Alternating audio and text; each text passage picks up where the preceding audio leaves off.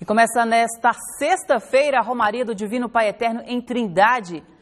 A expectativa é que 3 milhões de pessoas passem pela cidade que já está preparada para receber o maior evento religioso do Centro-Oeste. Vamos ver. Nessa pousada já está tudo pronto para receber os romeiros. A preparação começou no início da semana. Na semana da festa é até difícil para a gente andar na cidade, então eu já compro Antes, essa semana, por exemplo, dá para eu comprar tranquilo. O estabelecimento disponibiliza 25 quartos que já estão quase todos lotados para o período da festa do Divino Pai Eterno em Trindade.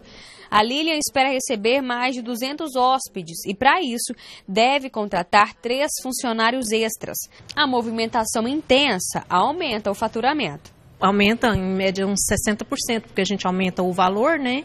E os quartos também são todos preenchidos, né? O dono dessa loja de artigos religiosos está com a expectativa lá no alto e por isso investiu nos produtos. A gente vai receber muita gente, então, além do que a gente tem, a gente busca muitas outras novidades e repõe a mercadoria, né, com a expectativa de uma boa venda. Além dos comércios, a Basílica do Divino Pai Eterno também já está preparada para receber os fiéis. Alguns, inclusive, anteciparam a vinda para fugir da multidão que se forma durante a festa.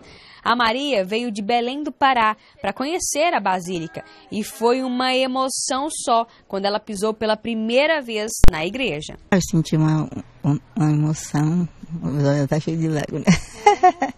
E teve gente que errou a data do início da festa. A Antônia veio numa excursão de Poços de Caldas para ver o desfile dos carros de bois, mas ela teve que se contentar só com a estátua mesmo. Tá vindo um tanto de carro de boi por aí afora, né?